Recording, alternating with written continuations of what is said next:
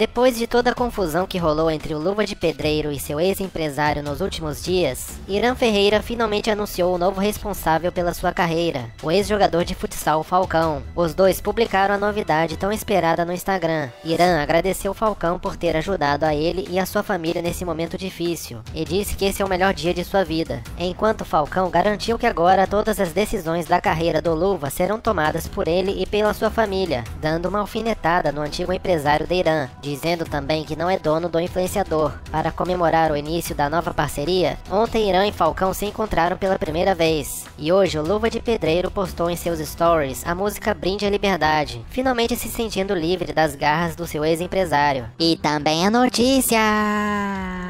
Nos últimos dias, vazou um áudio do Luva de Pedreiro nas redes sociais, em que ele pede ajuda para não ser vigiado pelo seu ex-empresário Alan de Jesus. Irã disse que estava dentro de casa para que ele não desconfiasse e perguntou se não seria melhor fazer as coisas na manhã, para o seu antigo empresário não descobrir nada. Aparentemente, Irã se sentia preso e não podia nem postar os stories que queriam em seu Instagram. Segundo informações do jornalista Léo Dias, seu ex-empresário controlava tudo o que ele fazia. Ele ia todas as suas conversas nas redes sociais sociais. Por isso, Irã estava usando contas secretas para conversar com as pessoas mais próximas a ele. Confira o áudio. Me explica esse negócio dos vídeos que ele tá dentro da minha casa, por senão ele vai desconfiar, tá entendendo?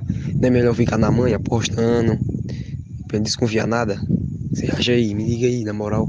Eu tô na, na sinuca de bico aqui, pô.